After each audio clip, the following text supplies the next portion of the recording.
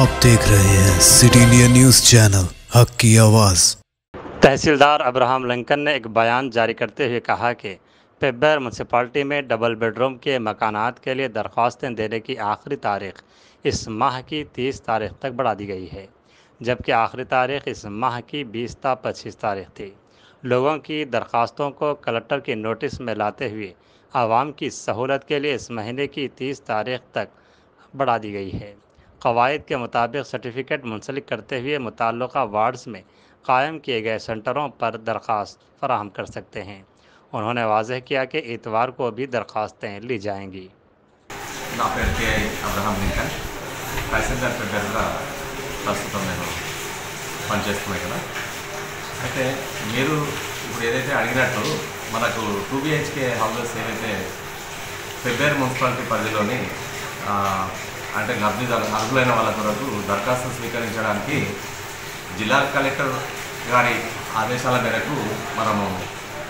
ఈ నెల అనగా మే నెల ఇరవై తారీఖు నుంచి ఇరవై నుంచి ఇరవై ఐదు వరకు ఇరవై తొమ్మిది నుంచి ఇరవై ఐదు తేదీ వరకు గడువు ఆల్రెడీ జిల్లా కలెక్టర్ గారు మనకి ఇచ్చి ఉంది. అయితే ఇచ్చిన తర్వాత అంటే లోకల్ స్థానిక ప్రజల నుంచి కొంత గడువు కోరడం జరిగింది. అంటే వాళ్ళు ఏంటంటే దానికి సంబంధించి అంటే కొంతమంది వేరే ఊళ్ళో ఉన్నారు అని కొంత తర్వాత ఏదో కొంతమంది ఏంటంటే కొన్ని దానికి సపోర్టింగ్ డాక్యుమెంట్స్ అని ఫిల్అప్ చేసి పెట్టుకోవడానికి కొంత మాకు టైం కావాలని అన్నప్పుడు ఆ, ప్రజాప్రతినిధులు అందరూ కూడా మళ్ళీ జిల్లా కలెక్టర్ గారిని వాళ్ళు కలవడం జరిగింది. అందులో సార్ మళ్ళీ ఏంటంటే మళ్ళీ ఒక అదనంగా మళ్ళీ మనకు ఇరవై ఐదు కాకుండా ఈ నెల ముప్పై తారీఖు వరకు మనకు గడువు పొడిగించడం జరిగింది. కాబట్టి మీ అంటే ప్రెస్ తరఫుకి వెళ్ళి కూడా స్థానిక ప్రజలందరూ కూడా అంటే తేదీ ఇరవై ఐదు నుంచి ముప్పై తారీఖు వరకు పెంచారు ఈవెన్ ఆది ఆదివారం సెలవు రోజు కూడా మనం దరఖాస్తులు స్వీకరించాలని కలెక్టర్ గారు చెప్పినప్పుడు ఆదివారం కూడా మనము కౌంటర్లో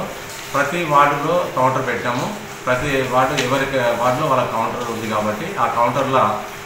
ఉదయం అంటే పదిహేను నుంచి ఐదు గంటల వరకు కౌంటర్ నడుస్తుంది. ఆ కౌంటర్లో